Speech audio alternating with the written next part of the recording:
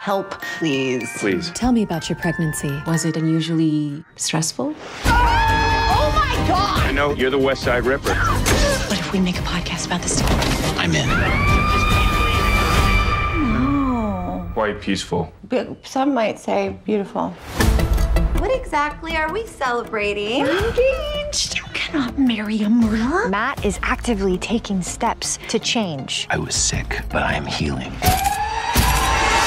The West Side Ripper is back. Like, so worried about my sister. The bad boyfriend? Yes, I just wish I could make her see who he really is. You're obsessed with him. You, you're bored of your middle aged mush of a life, and he keeps things exciting for you. We are going to stake this place out all fucking night. If you're not killing these people, then who is? That's what I want to know. Killer strikes again.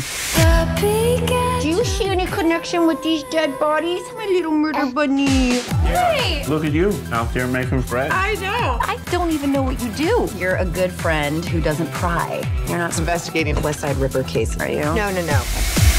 The only investigating I'm doing these days is who shit their pants. All signs lead to that guy. The killer has struck again. That's a stamp for the underground sex party. How do you know what that is?